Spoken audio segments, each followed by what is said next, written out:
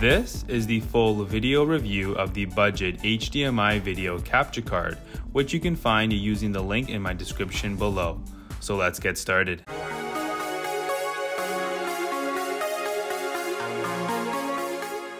Let's kick things off by talking about the design and build quality of the capture card.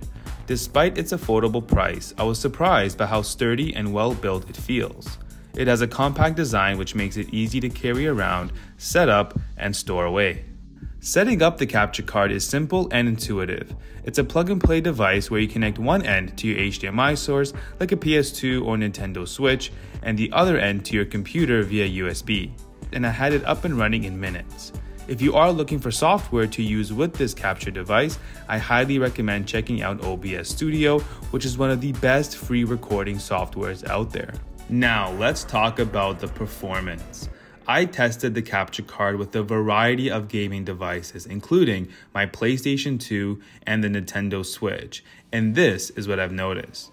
When it comes to older consoles like the PS2, the capture card does very well, especially for recording gameplay. There is minimal lag during recording and almost no lag when replaying the recorded video. That said, it does struggle when streaming, but for the price point, it's decent. Now, when it comes to more modern consoles like the Switch, this is where you start to see the limitations of the device. You'll find noticeable lag when recording and streaming, which will directly impact gameplay, but when playing back recorded videos, it does do pretty well, as the Switch is not an extremely powerful gaming device.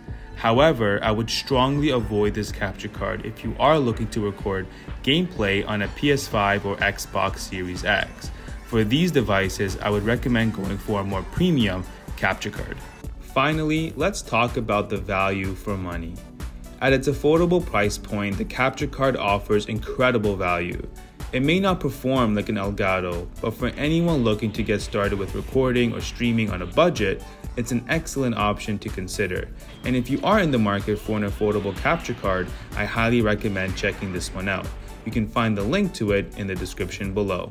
Overall, I've been really impressed with this device. It offers decent performance, an easy setup, and great value for money, making it a great option for many.